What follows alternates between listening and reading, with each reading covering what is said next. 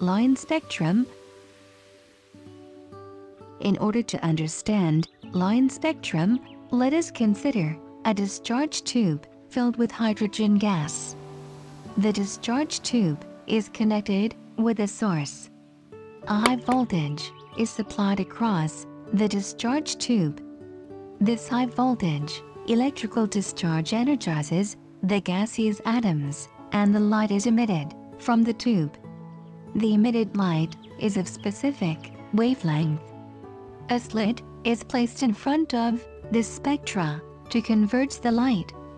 The slit is followed by prism, and the light ray is then allowed to pass through the prism. The prism, on the other hand, produces sharp line of definite wavelengths. With the help of line spectrum, we can identify the type of gas.